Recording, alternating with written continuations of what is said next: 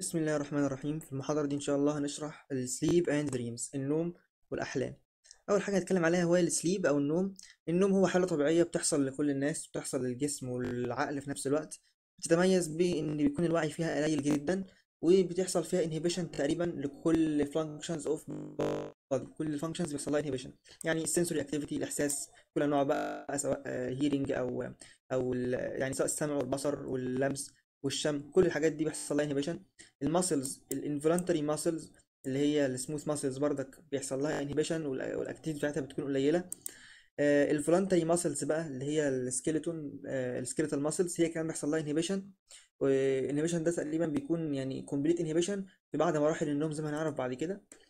وبيكون استقبال الشخص النايم لأي stimuli حواليه سواء بقى صوت أو لمس أو شم أو أيا كان بيكون قليل جدا. ده تعريف ال sleep. آه بالنسبة للفسيولوجي بتاعت ال sleep أنا عايز أعرف ثلاث حاجات مهمة. أول حاجة إن ال brain ال activity بتاعته بتقل. نشاط المخ بيقل جدا وبالتالي بيستهلك طاقة قليلة جدا اثناء النوم دي أول حاجة. تمام؟ طيب الحاجة التانية إيه؟ الحاجة التانية عايز أعرفها إن آه ال perception بتاع الشخص يعني الادراك الشخص للحاجات اللي حواليه بتبقى بتبقى بيبقى قليل جدا.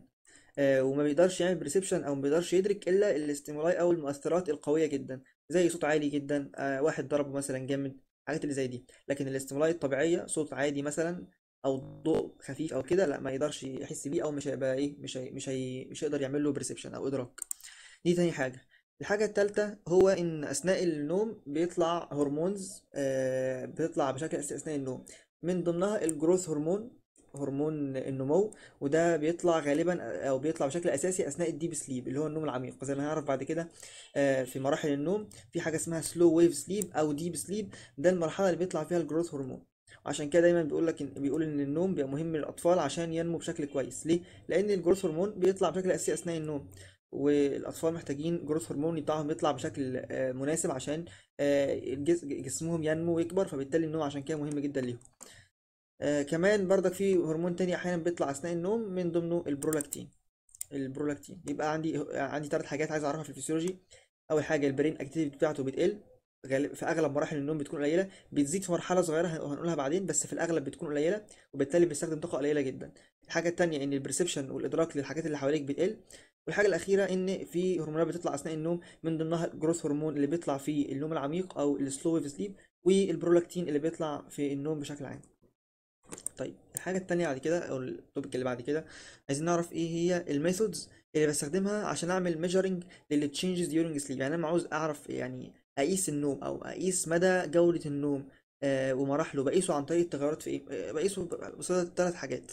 أول حاجة ال electroencephalography اللي هو بقيس أو ب- ب- آه، رسم الموجات ال- آه، رسم الموجات المخ brain waves اسمه ال EEG وفي حاجة تانية اللي هي ال electrooculography اللي هي بتقيس لي حركة العين EOG والحاجة التالتة ال electromyography اللي هي بتقيس الكهرباء اللي في ال skeletal muscle activity ليه بستخدم الحاجات دي؟ هنعرف بعد كده وإحنا بناخد مراحل النوم. إيه بقى التغيرات اللي بتحصل في الحاجات دي؟ أثناء النوم. التغيرات اللي بتحصل في موجات المخ والتغيرات اللي بتحصل في تحركات العين والتغيرات اللي بتحصل في ال skeletal muscle كل دي هنعرفها وإحنا بنتكلم على المراحل بتاعة النوم.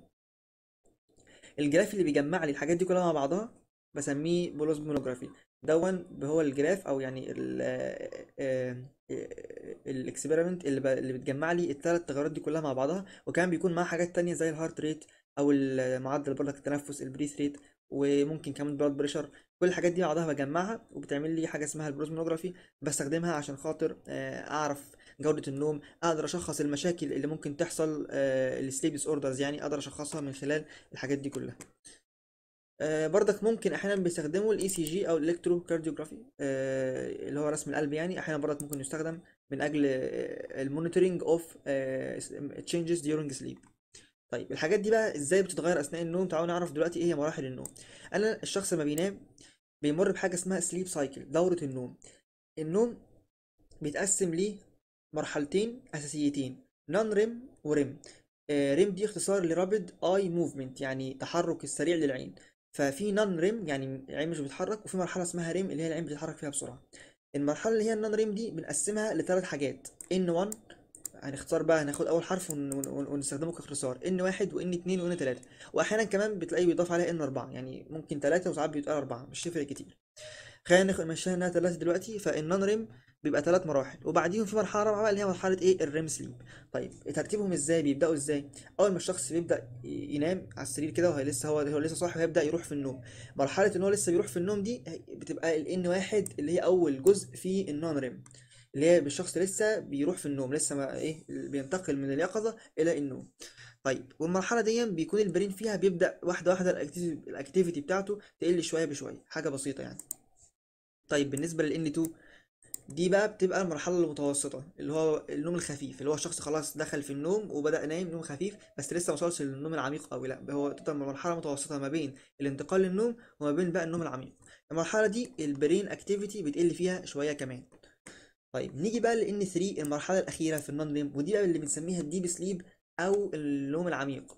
ومن اسمها برضك slow wave sleep ليه slow wave لأنهم لما بييجوا يقيسوا ال EEG أو اللي هو ال brain waves يعني آه، في ال N 3 دي بيلاقوها آه، بطيئة جدا. بيلاقوا ال waves بتاعت ال brain بطيئة جدا.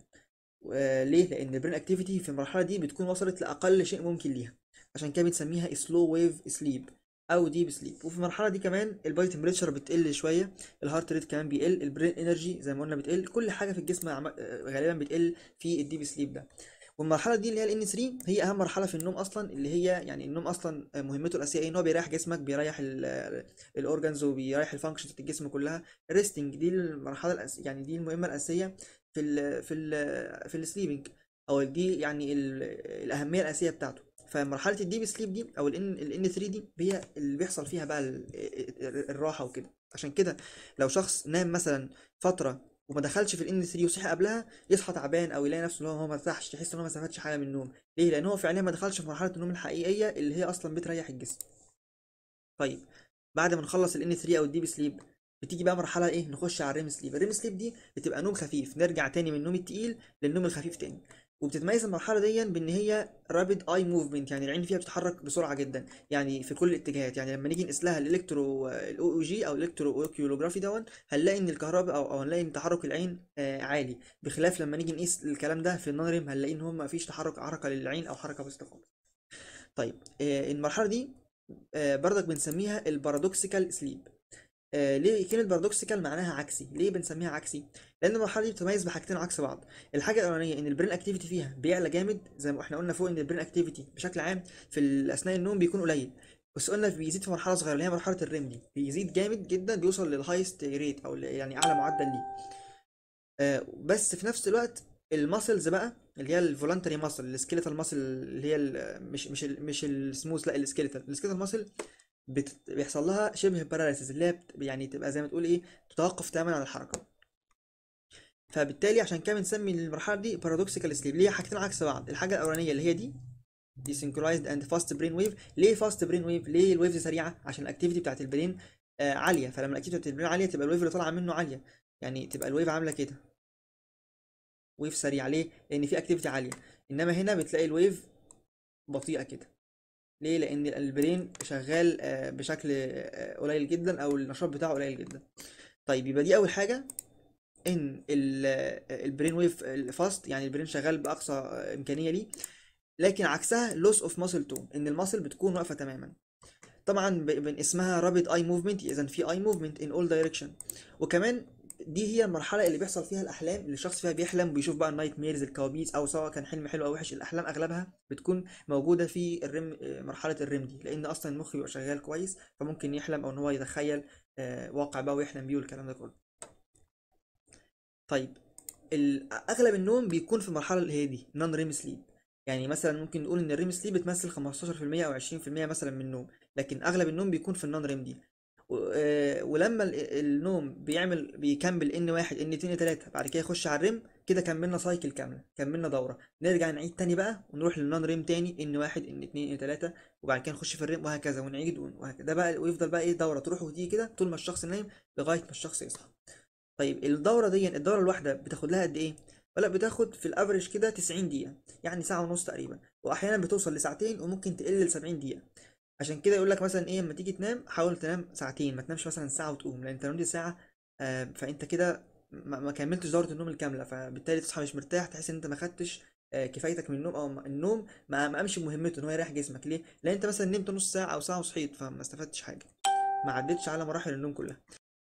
يبقى دي كده كانت مراحل النوم آه وعرفنا التغيرات اللي بتحصل فيها بكل بساطة كده. نيجي بقى ليه حاجة اسمها ال circadian rhythm.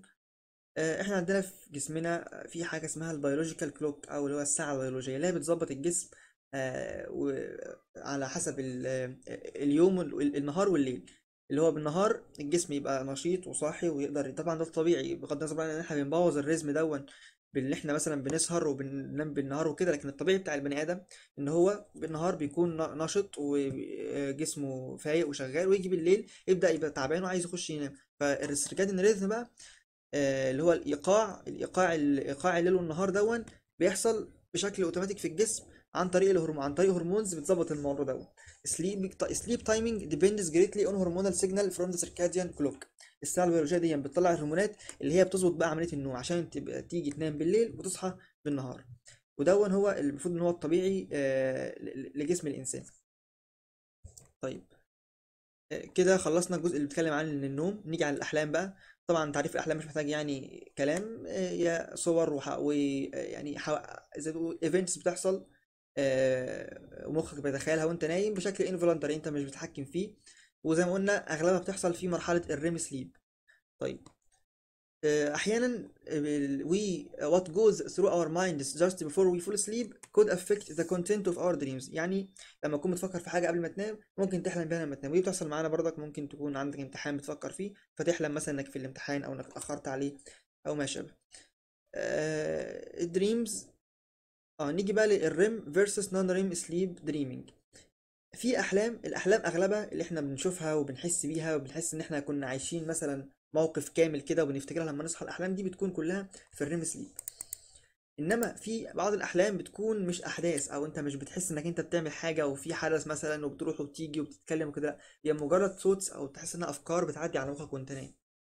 بتحصل برضك ساعات آه إنك أنت أنت آه ما بتشوفش إنك أنت قمت مثلا أو رحت مكان معين أو كده أنت بس بت- بتحس بأفكار جت في مخك مش أكتر. ودي بتبقى لما بتحصل الحاجة دي اللي هي اللي بنسميها thoughtful dreams مثلا دي بتحصل في ال slow wave sleep اللي هو ال non REM مرحلة النوم العميق.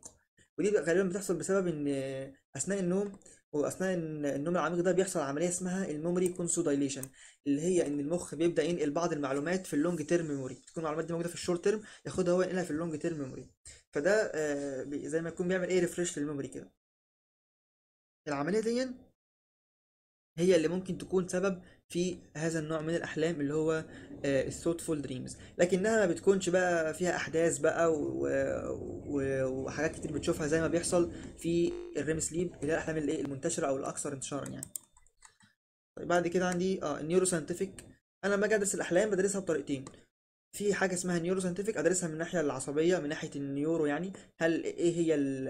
إيه هو الجزء مثلا اللي في ال brain اللي مسؤول عن الأحلام؟ آه، إيه هو الجزء اللي لو اتصاب مثلا الشخص ممكن ما يحلمش وهكذا اللي هو الجزء الخاص آه، بالمادي يعني. وفي بقى ال psychoanalysis اللي هو الجزء النفسي اللي هو تأثير حياة الشخص مثلا وتأثير ال- الحالة العاطفية بتاعته على أحلامه مثلا.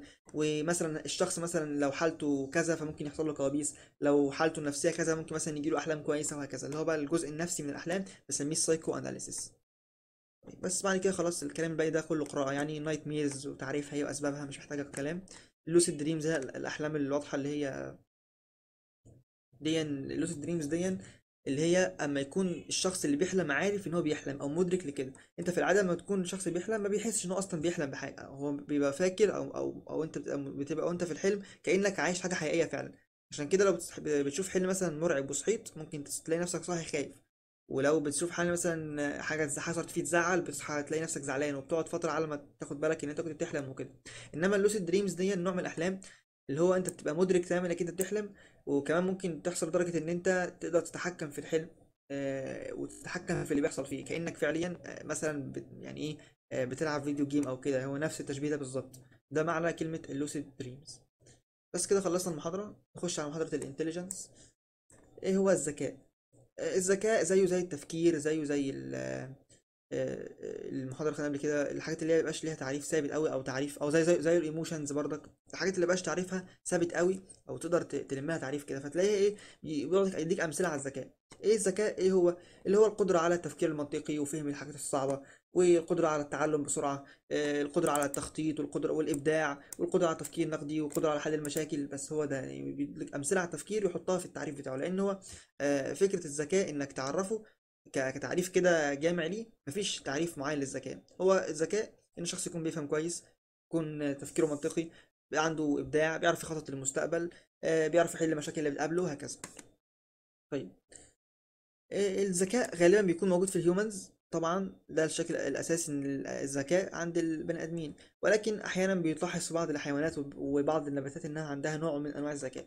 وطبعا مؤخرا بقى في آه، artificial intelligence أو الذكاء الصناعي اللي هو كمان حتى الآلات دلوقتي وأجهزة الكمبيوتر وكده بقى عندها كمان ذكاء. زي ما اتكلمنا في ال machine learning في المحاضرة اللي فاتت. كان مثال على يعني ال machine learning اللي اتكلمنا عنه دون نوع من أنواع ال artificial intelligence أو الذكاء الصناعي. طيب الذكاء بشكل عام ليه تسع أنواع. تسع أنواع للذكاء.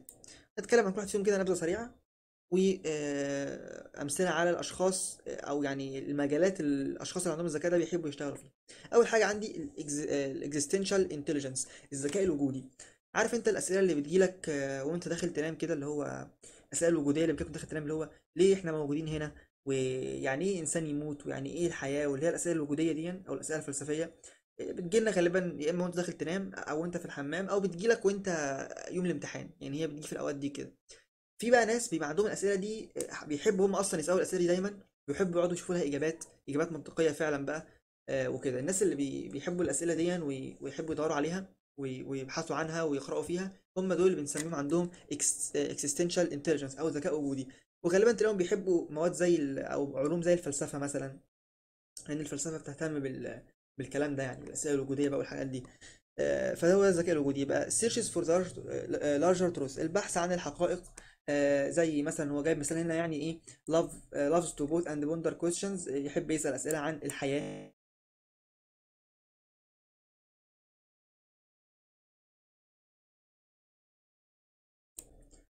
فدول بيبقى عندهم ذكاء وجودي وزي ما قلنا بتلاقيهم مثلا يحبوا مادة زي الفلسفة. وهكذا. من كان يجي النوع اللي بعد كده الذكاء البصري أو المكاني visual spatial intelligence. ودي الناس اللي بيكون عندهم آه، ذكاء بصري كويس يعني يقدروا يحللوا الصور بشكل كويس. وكمان الأهم إن هم بيقدروا يتخيلوا الأشياء في الأبعاد الثلاثة اللي هو يعني في 3D آه، فتلاقيه دايما عنده إحساس كويس بالاتجاهات. ولو مثلا راح مكان آه، تلاقيه مثلا سهل إن هو يحفظ الطريق بسرعة ليه لأنه عنده إحساس كويس بالاتجاهات. ولو مثلا راح مكان ممكن يرجع ويعكس الاتجاهات بسهولة جدا ما يتوهش. ليه؟ بسبب إن عنده إحساس بالاتجاهات برضك يعرف يعرف يقرأ الخرائط بشكل كويس. آه يعني لو قلت له خريطة المكان وقلت له أنت هنا يعرف يتحرك ويوصل بسهولة. آه برضك تلاقي شخص مثلا يحب يركب صور ال puzzles والكلام ده. يعني أي شيء فيه آه صور و 3 dimension أو حتى 2 dimensions المهم إنها شيء فيه صور وأماكن وأبعاد وكده. بتلاقي الشخص دون بي إيه اللي عنده الذكاء ده عالي أو عنده visual spatial intelligence بتلاقيه دايما شاطر أو آه، آه، يعني آه، كويس في الحاجات دي يبقى أمثلة ability أو تعريفه ability to imagine drawing in two or three dimensions. And to understand space القدرة على يعني تخيل الصور سواء in two أو 3 dimension وإن هو يكون فاهم الفراغ من حوله ويقدر يت- يتحرك فيه. طب الناس اللي اللي هم بيحتاجوا يبقى عندهم الذكاء ده أو اللي غالبا بيشتغلوا في إيه مثلا؟ يعني مثلا المهندس المعماري المهندس المعماري محتاج جدا يكون عنده ذكاء بصري دون عشان يقدر زي ما هو يقدر يتخيل إزاي يرسم العمارة اللي هي مثلا اللي هو بيبنيها أو كده على الورق ويقدر يتخيل إزاي بالورقة دي تتحول لعمارة 3D بعد كده وهكذا. فعشان خاطر يقدر يتخيل حاجة زي كده لازم يكون عنده ذكاء بصري عالي. آه كمان آه زي ما قلنا ال sailors البحار. ليه؟ لأن البحار برضك بيستخدم آه بي- بيبقى عنده لازم يكون عنده آه إدراك كويس للأبعاد من حواليه والاتجاهات بتاعته. برضك لازم يكون عنده visual spatial intelligence طيب الأشخاص اللي هم عندهم visual spatial intelligence أو عندهم النوع ده من الذكاء اللي هو الذكاء البصري عشان تيجي أما يحبوا يتعلموا حاجة إيه أفضل طريقة يتعلموا بيها؟ أكيد طبعا عن طريق الصور. أي شيء فيه صور هيبقى كويس معاه يعني graphics charts اللي هي ال charts اللي هي الرسوم البيانية. photographs الصور الرسومات drawing 3D modeling انه نجيب له 3 دي موديل للحاجه الفيديوهات أي شيء فيه صور هيبقى هيبقى كويس جدا مع الشخص اللي هو عنده ذكاء بصري ده طيب نيجي بعد كده لنوع تاني من الذكاء اللي هو ال musical intelligence ومن اسمه كده الذكاء الموسيقي يعني شخص عنده قدرة آه، على آه، يعني فهم الموسيقى أو مش فهم الموسيقى بقى إن هو تمييز الموسيقى عن بعضها. إن هو يقدر يميز آه، ال tone أو النغمة بتاعت الموسيقى دي عن الموسيقى دي. لدرجة مثلا ممكن يقول لك إيه الموسيقى دي والموسيقى دي اللي مؤلف الاتنين واحد. ليه؟ لأنه حس بال إيه بالتشابه ما بينهم أو بنفس النمط أو نفس النغمة وهكذا. يبقى ability to perceive identify and express musical forms. القدرة على إن هو يدرك ويميز وكمان إن هو يعمل بقى بنفسه هو ال musical forms المقطوعات أو المقاطع الموسيقية. آه، طيب الشخص اللي زي دون آه، زي ما قلنا عنده حساس للأصوات بشكل عام. آه، بيقدر يميزها عن بعضها يميز التون يميز البيتش بتاعتها اللي هو حدة الصوت وهكذا. فالشخص ده إيه أفضل شيء يتعلمه بيه أو يتعلم بيه حاجة؟ طبعا إن هو آه، يخلي الشيء ده مثلا في شكل أغنية آه، إن هو يخليها ريذم عشان يقدر يحفظها بشكل كويس. يبقى دي can be taught by turning lessons into lyrics speaking rhythmically. يعني إن هو تخلي الدروس أو الحاجة اللي المعلومات اللي عايز يحفظها دي في شكل مقاطع موسيقية ويغنيها. فده يساعده جدا على الحفظ. وأي شيء بقى فيه صوت بقى آه، أغاني راديو CD-ROMs multimedia أي شيء فيه صوت هيكون كويس جدا للشخص ده إن هو يقدر يحفظ بيه. وكمان تلاقيه بيعرف يذاكر كويس آه، ولما يكون في موسيقى شغالة مثلا في الخلفية أو كده آه، ده برضك يساعده على التركيز وهكذا. الشخص اللي عنده ال musical intelligence يجي بعد كده ليه؟ ال interpersonal interpersonal intelligence ممكن نقول عليه مثلا الذكاء الاجتماعي اللي هو بيقدر يفهم الناس بشكل كويس جدا. ويقدر يفسر مشاعرهم ويقدر يفهمهم من تعبيرات وشهم حتى من غير ما يتكلموا بشكل واضح أو كده. آه، فالشخص ده طبيعي إن هو بيكون اجتماعي جدا بيحب يتعامل مع الناس بيفهمهم كويس وبالتالي الناس بتحبه لأن هو بيفهمهم فتلاقي عنده أصدقاء كتير وهكذا. آه، أفضل طريقة إن الشخص ده يتعلم إن هو يتعلم بطريقة فيها تفاعل مع الناس group activities نشاط نشاط النشاطات اللي هي الاجتماعية النشاطات اللي هي الاجتماعية آه، والحوار والامور اللي هي فيها إيه تشارك ما بين الطلبة يعني. دي أفضل طريقة عشان الشخص ده يقدر يتعلم بشكل كويس. يبقى ability to interpret the mental state of others. يقدر يفسر زي ما قلنا حالة الناس أحاسيسهم آه، إيه بيحبوه إيه بيكرهوه يقدر يفهمهم بسهولة. وبالتالي بيحب إن هو interact with others إن هو يتعامل مع الناس. فتلاقي عنده have many friends وهكذا. طيب نيجي بعد كده النوع اللي بعده ال intrapersonal الفرق بقى بين inter و intra. intrapersonal الشخص اللي هو فاهم نفسه كويس. يعني اللي فوق ده كان بيفهم الناس يفهم أحاسيسهم يفهم نقاط قوتهم وضعفهم يفهم بيحبوا إيه وبيكرهوا إيه. ال intrapersonal نفس الكلام على نفسه بقى يقدر يفهم هو بيحب إيه وهو بيكره إيه كويس. يقدر وبالتالي الشخص اللي يقدر يفهم نقاط قوته ونقاط ضعفه. وبالتالي الشخص ده بيقدر يدي يقدر نفسه صح. آه، اللي هو مثلا لو اديته شغل معين فيقدر لك أنا هخلص الشغل ده فعلا إمتى؟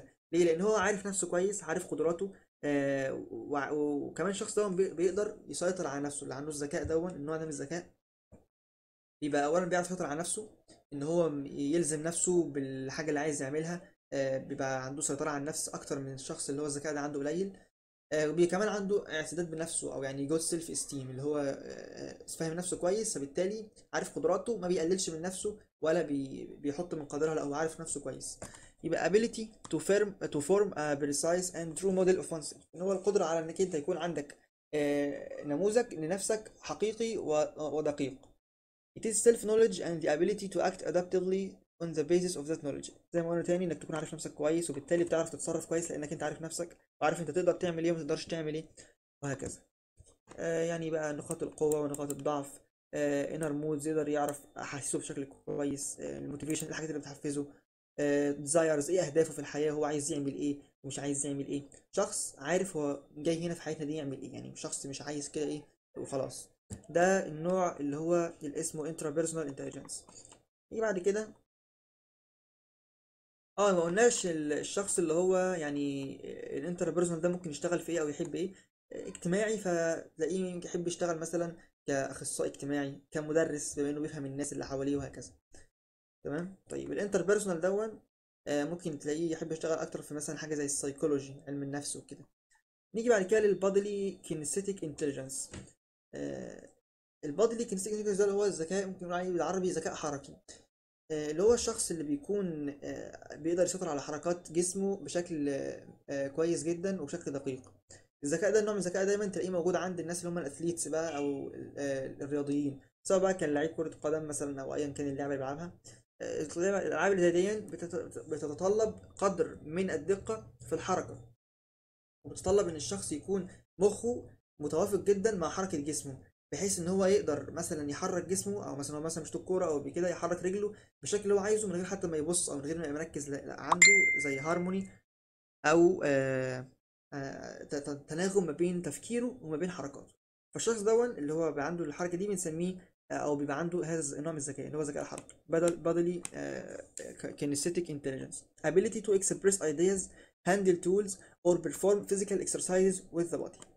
وامثله عليه بقى زي ما قلنا بيكون عنده آه، control over movement balance آه، agility اللي هي آه، التوازن والمرونه آه، حتى من حتى بيكون ما يتدرب يعني هو دي بتكون موهبة عنده اللي هو اللي عنده النوع ده من الذكاء. طيب آه، طب أحسن حاجة يتعلم من عن طريق الحاجات دي إيه؟ الحاجات اللي فيها حركة اللي فيها نشاطات و activities و movement وهكذا. وكمان الشخص دون مش بس بيكون عنده يعني يعرف يبقى إن هو يبقى athlete أو كده لأ كمثلا الجراح ال surgeon محتاج جدا إن هو يكون عنده المهارة الحركية دي عشان يبقى إيده مظبوطة جدا على الحاجة اللي هو بيعملها ما يغلطش. فبرضك بيحتاج يكون عنده النوع ده من الذكاء. بعد كده عندي ال linguistic اللي هو الذكاء اللغوي اللي هو بقى الفصاحة والقدرة على إن هو يعبر عن اللي جواه بلغة كويسة جدا وبيحب اللغة وكده. ده بقى بيكون موجود عند الشعراء والكتاب والخطباء والأدباء والناس دي كلها. طيب logical mathematical اللي هو الذكاء المنطقي والحسابي اللي هو الشخص اللي بيكون عنده قدرة على تحليل المشاكل وحلها بشكل تسلسلي كده بيقدر يفكر بشكل منطقي وتلاقي تفكيره منظم ومرتب جدا في حل المشكلة. وكمان ده بيساعده كمان في إن هو يبقى بيحل ال mathematical problems بقى أو المشاكل الحسابية أو المسائل الحسابية بيكون متميز في حلها. آخر حاجة ال naturalistic intelligence اللي هو القدرة على آه، يعني التعامل بشكل جيد مع البيئة والكائنات الحية اللي حواليه. ودي بتلاقيها موجودة عند الناس اللي هما بيتعاملوا مع البيئة زي مثلا ال farmer مثلا الفلاح أو آه، مثال تاني يعني ده اللي فاكره حاليا مثال الفلاح مثلا لازم يكون عنده النوع ده من ال intelligence لأنه بيتعامل مع آه، بيئة وكائنات حية وكده فالنوع ده من الذكاء بيخلي الشخص اللي هو عنده الذكاء ده يقدر يتعامل مع البيئة بشكل كويس. بس دي كده كانت التسع أنواع من الذكاء. هنا بقى شوية كلام قراءة كده يعني ما لوش لازمة أوي. حاجات زي إن الشخص بي- بيختلف من شخص الذكاء بيختلف من شخص للتاني في كل شخص بيبقى عنده زي ما إحنا قلنا فيه تسع أنواع فتلاقي شخص مثلا عنده linguistic intelligence قوي جدا في اللغة ويقدر يتكلم ويعبر عن اللي جواه وفصيح جدا ويقف يرتجل الكلام تلاقيه مش بيتهته لكن مثلا ما يعرفش يحل مسألة حسابية بسيطة واحد تاني تلاقيه بيحل مسائل الحساب كويس جدا وبيحبها لكن يجي يتكلم ما يعرفش يتكلم. إذا الشخص بيختلف من- الذكاء بيختلف من شخص للتاني وكمان الشخص ذات نفسه أداؤه أو العقلي بيختلف حسب حالته النفسية وال mood بتاعه وال occasion أو ال situation الموقف اللي هو موجود فيه وهكذا. طيب. نيجي بعد كده ل آه، آخر حاجة عندنا في المحاضرة وهي ال artificial intelligence الذكاء الصناعي. آه، زي ما اتكلمنا اتكلمنا في المحاضرة اللي فاتت عن ال machine learning وقلنا إن هو يعني بيتكلم عن الذكاء و الذكاء إزاي تخلي الآلة أو الكمبيوتر يكون ذكي وبيفكر وبيتعلم زي الإنسان بالظبط؟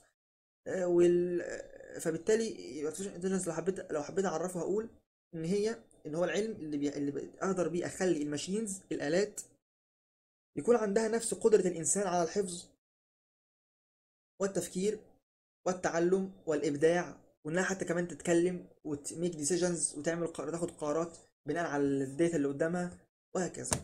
آه ليه بقى طبعا ال artificial intelligence؟ ليه تطبيقات كتير جدا؟ آه أبسطها اللي موجود مثلا في موبايلاتنا كلنا Google Assistant مثلا موجود في ال Android أو Siri اللي هو موجود في ال iPhone أو حتى على ال Windows آه Cortana. المساعدات الصوتية دي مثلا تكلمها فتقدر تفهم الكلام بتاعك. حتى لو قلت الكلام بصيغة مختلفة تفهم برضك لدرجه ممكن تكلمها باللغة العامية وتفهمك. مثال تاني مثلا أو تطبيق تاني على artificial intelligence اللي هو البيت الذكي أو الأجهزة الذكية في البيت. زي مثلا يكون عندك تكييف ذكي مثلا آه، بيقدر يعرف إن أنت مثلا بترجع البيت كل يوم الساعة كذا فتلاقيه بيشتغل لما أنت تيجي بوقت محدد عشان يسقع الأوضة قبل ما أنت تيجي. وليها أمثلة كتير ومن ضمن بردك أهم مثلا ال applications عليها يعني هو جايب هنا بعض ال applications زي ال games الألعاب طبعا بتحتاج ذكاء اصطناعي. مثلا لما الكمبيوتر يكون مثلا بيلعب معاك شطرنج فلازم الكمبيوتر يكون ذكي عشان يقدر يلعب معاك شطرنج لأن الشطرنج دي محتاجة ذكاء محتاجة تفكير. فعشان آه، أعمل لعبة في الشطرنج بحتاج يكون عندي artificial intelligence. وكان حصل إن شركة IBM قدرت إنها تطور الكلام ده من فترة طويلة جدا تطور يعني برنامج قدر إن هو يغلب بطل العالم في الشطرنج في اللعبة يعني. كان ساعتها ده يعتبر إنجاز كبير وتقدم كبير في ال artificial intelligence ومؤخرا كمان من كام سنة كده شركة جوجل برضك كان عندها software كده للعبة اسمها جو. اللعبة دي يعني أصعب من الشطرنج بكتير جدا. يعني انت عندك الشطرنج مثلا بيكون 8 في 8 اللي هي الرقعة بتاعته الجو دي بتكون 18 في 18 فهي لعبة أصعب بكتير برضك من فترة ال software بتاع جوجل قدر يهزم فيها بطل العالم وبرضك ده كان تقدم كبير جدا لل artificial intelligence ومن ضمن برضك ال application بتاعته ال autonomous cars اللي هي العربيات القياده الذاتية اللي هي بدأت بدأت تزيد حاليا برضك آه، دي كلها تطبيقات عليه طيب آه، ده تعريف ثاني لل artificial intelligence أو ال AI It is the system's ability to correctly interpret external data. ان ال system أو ال software يقدر ان هو بشكل صحيح يفسر ال data الخارجية اللي داخله له ويتعلم منها. وبالتالي يستخدم التعلم ده في ان هو يوصل لأهدافه وان هو يقدر ياخد قرارات جديدة حتى لو ما كانش متبرمج عليها قبل كده. آخر حاجة بيقول لك إن general intelligence or strong AI has not yet been achieved. يعني ال AI إحنا بنقسمه لحاجتين في weak AI وفي strong. ال weak دول كل الحاجات اللي موجودة حوالينا من من, تطبيقات ال AI زي قلناها دلوقتي الالعاب لعبة شطرنج Google Assistant آه، العربيات اللي بتسوق نفسها آه، الحاجات دي كلها آه، بنقول عليها weak AI AI ضعيف. ليه؟ لأنه بيكون AI متخصص في آه، شيء واحد بس يعني جوجل assistant. اللي بيعرف يعمله إيه؟ إن هو يتكلم ويرد على أسئلتك ويجاوب عليها. لكن هل ممكن مثلا جوجل assistant يلعب معاك شطرنج؟ أكيد لأ. نفس الكلام لعبة الشطرنج على الكمبيوتر بتعرف تعرف تغلبك في الشطرنج آه لكن ما تعرفش تتكلم معاك. العربية اللي بتسوق نفسها بتعرف تسوق لكن ممكن تكون بتعرف تتكلم كمان لكن ما تعرفش مثلا إنها تلعبك شطرنج. فبالتالي إيه، متخ- بيبقى ال software آه هو عنده ذكاء بس ذكاء في مجال واحد بس مش أكتر. ما يقدرش يتعلم حاجة غيره. هو آه يقدر يحسن من نفسه في الشطرنج أكتر ويقدر يتعلم ويبقى أشطر في الشطرنج مع الوقت. جوجل assistant ممكن مع الوقت يبدأ يفهم كلام ما كانش بيفهمه قبل كده لوحده حتى من غير ما. من غير ما يتبرمج عليه. هو بيتدرب مع الناس وبيفهم من كلامهم ويغلط فيفهم ويتعلم من بس إيه في مجال واحد اللي هو مجال الكلام والإجابة على الأسئلة. فده كله بسميه specific أو weak AI إنما ال general AI أو ال strong AI دي دي فكرة خيالية شوية بقى إن هو يكون عندنا software عنده ذكاء زي الإنسان بالظبط. الإنسان بيبقى عنده ذكاء لا محدود اللي هو ممكن يتعلم الشطرنج النهارده وبكرة يتعلم حاجة تانية وبيتكلم وبيسوق وبيعمل أكل وبيطبخ وبيعمل كل حاجة بي- أي حاجة عايز يتعلمها يتعلمها مش متخصص في حاجة واحدة بس. فال strong AI دي فكرة خيالية شوية اللي هو إن يكون في software عنده نفس القدرة دي بقى على الذكاء. وطبعا دي زي ما قلنا فكرة مش موجودة has not been achieved لسه الآن مش موجودة ولا حتى ممكن توجد بعد كده على ما أظن يعني. آه نيجي بعد كده آخر حاجة ال IQ بقى. كنا عارفين ال IQ اللي هو معدل قياس آه، يعني آه، ال test اللي بنقيس بيه الذكاء يعتبر موجود worldwide والناس كلها بتستخدمه the most widely used عشان يقيم الذكاء وكده.